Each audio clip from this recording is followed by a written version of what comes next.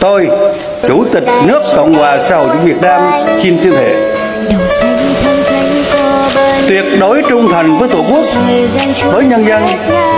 Với hiến pháp của nước Cộng hòa xã hội chủ nghĩa Việt Nam, nỗ lực công tác để hoàn thành tốt nhiệm vụ của Đảng, Nhà nước và nhân dân giao phó.